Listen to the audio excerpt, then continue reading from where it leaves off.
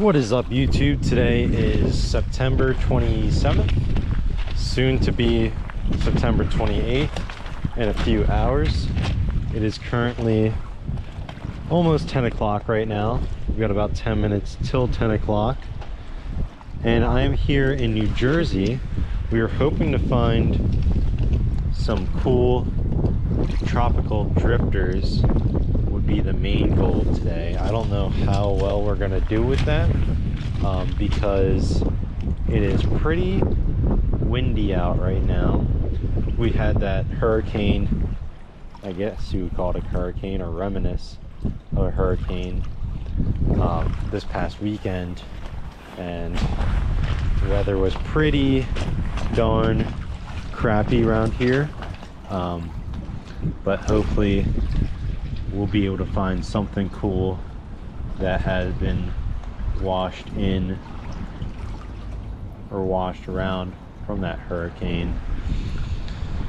So I'm going to start by trying to net us some shrimp to use for bait and then we will go from there. So you guys stick around and stay tuned and hopefully I can find something cool for us. I do have a new photo tank that I want to test out, but we got to find something cool to put in it first. But water's a little churned up and muddy, so we'll see if we can get anything. All right, guys, so far, uh, nothing. Um, have seen a few mummichogs and some silversides. Um, I netted one of the silversides just to make sure it was just an Atlantic silverside because some more tropical species of silverside have washed into this area um, this past summer about a month ago. So I was checking to make sure it wasn't one of those but it was just your normal Atlantic silverside so nothing special. Water is still pretty churned up here but it's not quite low tide yet so I'm hoping things will chill out then. But low tide is in about an hour and a half so I might be doing a decent bit of waiting not waiting in the water but waiting like waiting out some time but I'm here now. I already drove the hour and a half to to get here my second spot's gonna be better at low tide.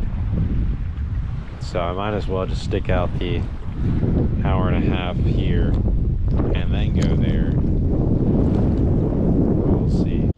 All right guys so this right here is an example of what I've been getting. There's a rock on it right now. But that is a Atlantic silverside. Now I haven't caught one on hook and line yet.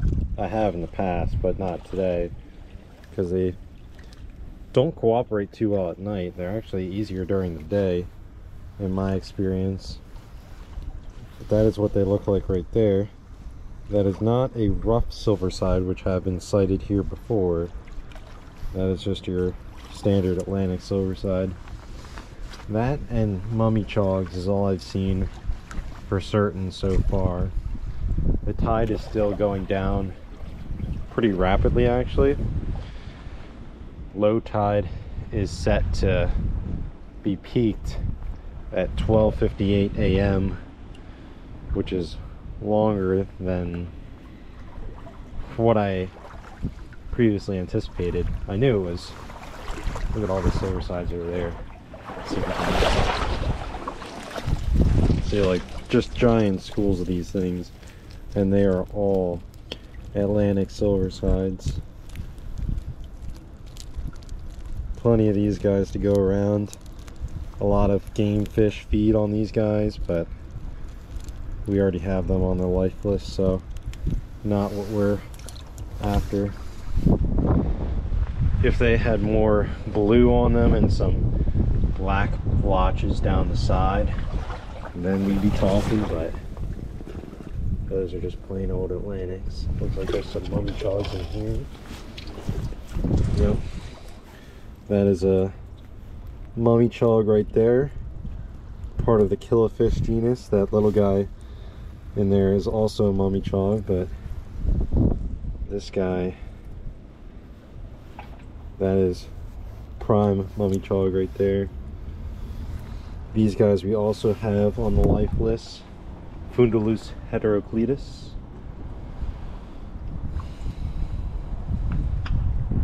We're primarily on the lookout for blennies or anything of that sort. Blennies or gobies. But haven't seen anything like that pop up. Just a lot of silversides and mummichogs, which are pretty boring fish if you ask me. Alright guys, we got our first fish that is somewhat interesting. That is a striped killifish there. It's our first fish on hook and line tonight. Not the most exciting thing, but I don't catch too many of these, so a fish is a fish. We will take that. I'm gonna get this guy some water and then we're gonna let him go. I'm not to debut the photo tank on this guy because he is something I've already caught before. But I will at least get a shot for him since he's on camera. Let me get some water first. Got a few decent shots of our little striped killifish there. Now we're gonna let him go back in the water. Something a little bit more interesting than a mummichog or Atlantic Silverside. Haven't seen any gobies yet, but we will keep our eyes peeled. I'm gonna move my gear back over here and, continue looking into the water here, see if anything interesting peaks up.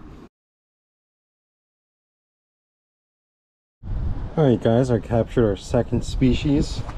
This was caught on hook and line but fell off the hook. Believe this to be a seaboard goby. Now this one I might put in the photo tank just to get some better shots of this guy. But I think that spot there on the base of the tail, I don't know if you can see that, but I believe that's characteristic of uh, seaboard goby. Oh, I don't know if this guy has any scales, which could make it a naked goby. I'm just gonna put him in there with the shrimp until I get the other photo tank set up. Alright guys, I just went ahead and released our goby. 99.8% sure that was just a seaboard goby. I don't believe that to be a naked goby. If it was, that would be a new species for us, but I don't believe it was. I believe it was just a basic seaboard goby, which seems to be more common, which is the opposite of what I originally thought before I started doing this saltwater microfishing. I thought seaboard was the harder one to get, but apparently not. But that makes two species on hook and line and four different species that we've observed from the first spot. I haven't seen anything else that's really caught my eye yet. I did see the tail of a northern pipefish, but I did not see the head. And you kind of need to see the head to put a bait in front of it. So that did not work out, but Maybe we'll get lucky and see another one hiding amongst the weeds. Wind is still gusting, which is unfortunate, but hopefully the uh, tides are still relative and don't turn against us. Alright guys, I'm not sure what it is I just caught there, but whatever it is, it looks pretty cool. I'm going to go ahead and take a shot of this guy, and then I'm to let him go. I think it might be some sort of sand lance or some sort of half beak, but I'm not 100% sure.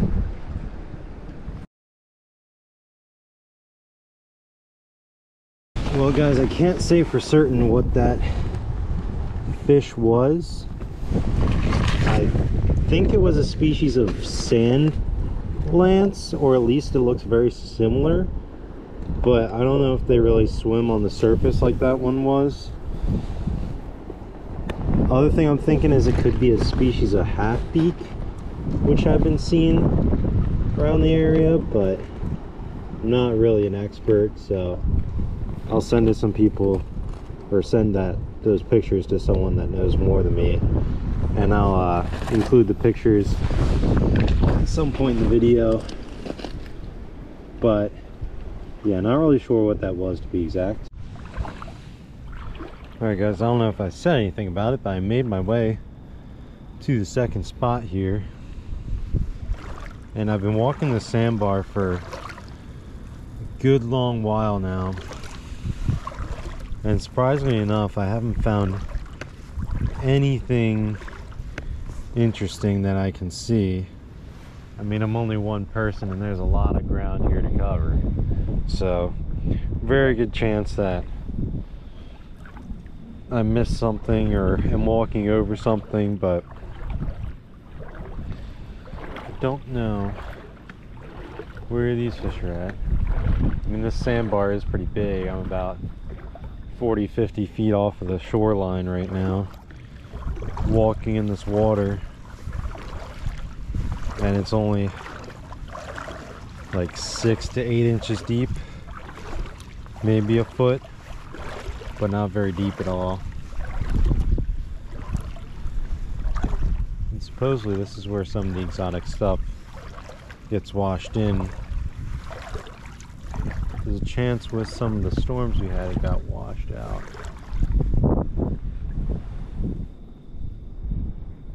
Something I think like a big killifish or something that was by my foot. Nothing that we need.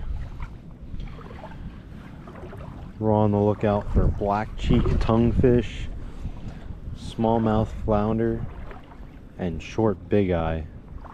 Whether we'll find any of these things, doubtful, but maybe we get lucky.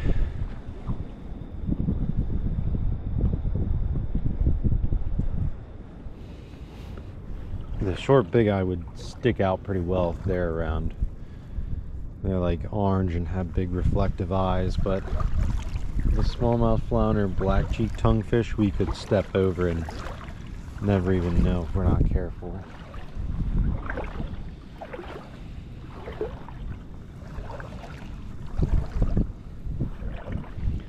So far all I've seen are silversides in this that but it made a bigger splash. Probably needlefish would be my guess, which I still need, so. If there's needlefish around, I don't spook one, that would be a good addition.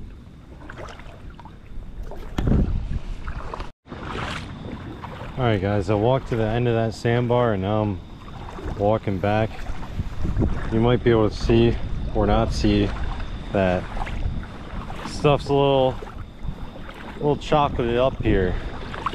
Can't really see the bottom too well, which means can't tell if there's any fish down there. I don't know if it's always like this. I'm gonna blame it on the recent weather we had. Everything getting churned up. And the wind that is still howling is not helping the situation either.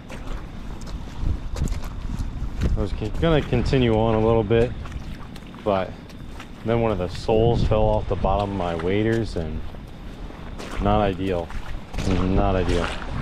So probably going to head back to the car now and go home. It's probably best that I do anyway. I'm pretty tired. I gotta drive to a Phillies game tomorrow. Ah. Gotta drive to a Phillies game tomorrow night. We're playing the Pirates. They won the past two games and clinched the postseason, so hopefully I can get to see them win another one tomorrow. But we shall see. It's unfortunate that the fishing did not work out all that well. we did catch the one new species which was confirmed to be a species of sand lance. The problem is that that species cannot be identified any further at that time. So sand lance is not the proper identification, but that's like, I guess the genus name that it's in. I think the proper one is Amidites or something like that. But yeah, so that is what we call it, not a species of half beak. Wind is still picking up pretty good. That's those 24 mile per hour gusts they were talking about. So we're gonna be walking it back to the car here and uh, driving back home to Pennsylvania where we will sleep and wake up and go to the Phillies game. Let's do it all over again. So not a very long video, but probably still upload it just because I need to get something out there. So hopefully you guys enjoyed the little bit that was filmed. I know it was dark and you couldn't really see much, but hopefully it was somewhat enjoyable. If you did find it enjoyable, feel free to drop a like and subscribe. And I will see you guys on the next episode of the Ville Outdoors.